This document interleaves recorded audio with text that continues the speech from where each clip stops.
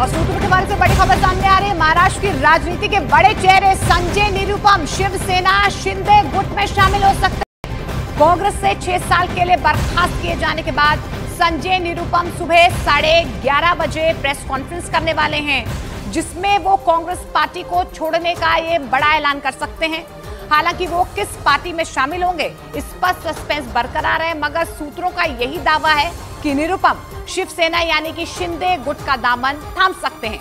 संजय निरुपम ने कांग्रेस पर भी निशाना साधते हुए एक ट्वीट किया है, जिसकी नाराज़गी साफ़ ज़ाहिर हो रही है।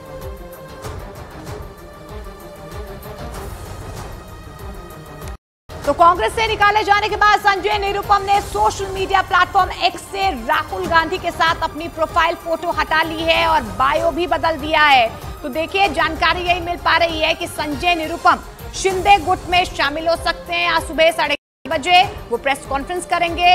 नाराज़गी जो है वो कई दिनों से ज़ाहिर भी कर रहे हैं और ऐसे में आप देखिए कि किस तरीके से उन्होंने अपना बायो भी चेंज कर लिया है।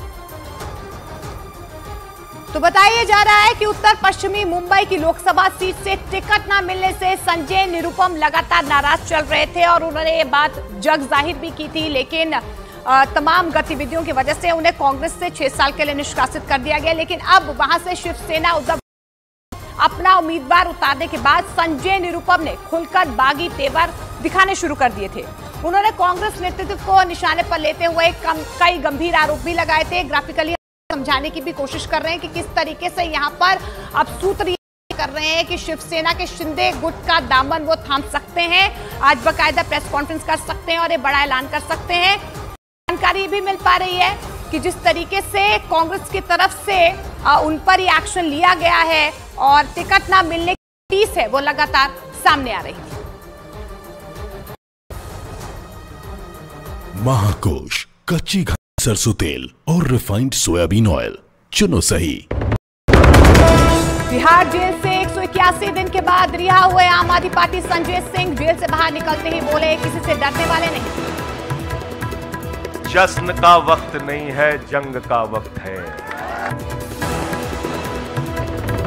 संजय निरुपम को कांग्रेस ने छह साल के लिए निष्कासित किया। पार्टी अध्यक्ष मल्लिकार्जुन खड़गे ने पार्टी विरोधी गतिविधियों में निरुपम के शामिल होने के आरोप लगाए। मथुरा लोकसभा सीट से आज नामांकन करेंगे। मालिनी सीएम योगी भी रहेंगे मौजूद। चुनावी सभा को संबोधित करेंगे। योगी, बीजेपी कार्यकर्ता चुनावी सभा को सफल बनाने इंतजामों में जुटे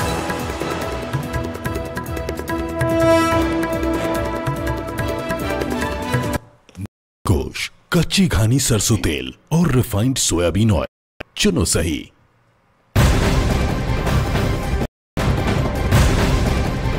नमस्कार न्यूज़ एटीन इंडिया देख रहे हैं आप। मैं हूँ आपके साथ मोनिका ठाकुर और शुरुआत इस वक्त की बहुत बड़ी खबर आपको बता दें। दिल्ली शराब घोटाले में पिछले साल गिरफ़्तार हुए आम आदमी पार्टी के नेता और सांसद संजय सिंह को जमानत मिल गई है। बीती रात जैसे ही वो तिहाड़ जेल से बाहर निकले तो पार्टी कार्यकर्ताओं के हुजूम ने उन्हें घेर लिया। वजह से संजय सिंह को कार्यकर्ताओं से रहने की अपील करनी पड़ी। जेल से निकलकर संजय सिंह सीधे अरविंद केजरीवाल के घर पहुँचे और उनकी पत्नी से मुलाकात की। वहाँ से वो पार्टी दफ्तर गए, जहाँ पर उनका जोरदार स्वागत किया गया। पार्टी दफ्तर में उन्होंने कार्यकर्ता संबोधित किया है और बीजेपी पर जमकर बरसे। संजय सिंह ने दो टूक कह दिया कि जेल के ताले टूटेंगे। अरविंद केजरीवाल, सिसोदिया और सत्येंद्र जैन जल्द बाहर निकलेंगे। लेकिन बीजेपी ने आम आदमी पार्टी के जश्न पर सवाल खड़े कर दिए। संजय सिंह जो है, बेल पर बाहर आ चुके हैं। कुछ शर्तों के साथ उन्हें बेल मिली है।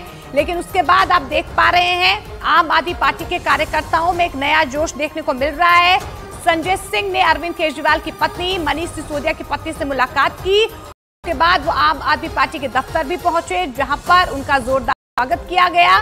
संजय सिंह की तरफ़ से साफ़ तौर पर यह दावा किया जा रहा है कि हम डरने वाले नहीं हैं। अरविंद केजरीवाल, मनीष सिसोदिया, सत्येंद्र जैन, ये सारे साथी पूरी ईमानदारी के साथ बाहर निकलेंगे और जेल के ताले टूटेंगे। हमारे नेता 100 प्रतिशत ईमानदार हैं और उनको दबाने, डराने, झुकाने, लाठी चलाने, मुकदमे लिखने और जेल भेजने की कोशिशें बंद करो। जश्न का वक्त नहीं है। जंग का वक्त है। संघर्ष के लिए तैयार हो जाओ। जम के लड़ेंगे। हालाँकि मिली बेल है। वो शराब घोटाले से रिहा नहीं हुए। हैं लेकिन उत्सव ऐसा मना रहे हैं लोग, जैसे लगता है कि पूरे शराब कांड से बरी हो गए। सशर्त, शर्त के साथ उनको कोर्ट ने बेल दिया है। केस चल रहा है। अरविंद केजरीवाल खुद शराब घोटाले के आरोप में जेल में बंद है। ऐसे में संजय सिंह ने अरविंद केजरीवाल की पत्नी सुनीता केजरीवाल से सीएम आवास पर मुलाकात की है। संजय सिंह ने उनके पैर छूकर उनका आशीर्वाद लिया। करीब 10 मिनट की मुलाकात के बाद संजय सिंह आम आदमी पार्टी के दफ्तर रवाना हो गए। वो दिल्ली के पूर्व मुख्यमंत्री मनीष सिसोदिया के घर भी पहुँचे। वहाँ पर भी उन्होंने सिसोदिया की पत्नी के पैर छुए और जेल में बंद मनीष सिसोदिया के बारे में बातचीत की। तो संजय सिंह के जेल से छूटने पर उनकी पत्नी ने खुशी तो जताई, मगर यह भी साफ़ किया कि जब तक अरविंद केजरीवाल मनीष सिसोदिया और सत्येंद्र जैन रिहा नहीं होते हैं तब तक कोई जश्न नहीं मनाया जाएगा।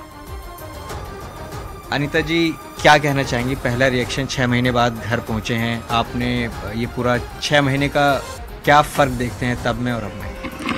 नहीं छः महीने में जैसे संजय जी नहीं थे तो घर में थोड़ा सा था। लेकिन जैसे वो बाहर आए वो अ, बड़े भाई जो अरविंद जी है जो पूरा दायित्व उन्होंने हम लोग के संभाला था।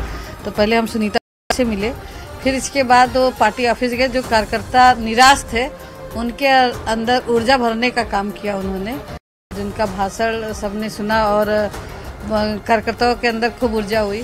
फिर हम सीमा भाभी से मिलने गए, उनका भी हाल चाल लिए और इसके बाद हम अपने घर पे आए। घर पे भी बहुत सारे कार्यकर्ता थे, जो कि एक उम्मीद जगी है कि हमारे एक बहुत बड़े मतलब एक लीडर आ गया है जो कि हम लोग को गाइड कर सके अब किस तरह से छः महीने बाद आए हैं तो किस तरह से उनका आप स्वागत करेंगे? क्योंकि परिवार में सब लोग हैं। एक लंबा टाइम जेल में उन्होंने बिताया। नहीं स्वागत नहीं बस ए, एक जैसे था अभी स्वागत का समय नहीं है। और जब तक हमारे तीन भाई हैं अभी जेल में हैं अरविंद जी मनीष जी और सत्येंद्र जी। जब तक वो बात बाहर नहीं आते तो कोई मतलब स्वागत नहीं कोई पार्टी नहीं ऐसा कुछ नहीं है। कैमरा पर्सन जयपाल रावत के साथ Javed Mansoori news eighteen India Delhi. और संजय सिंह के जेल जाने के बाद अपने बाल और दाढ़ी ना कटवाने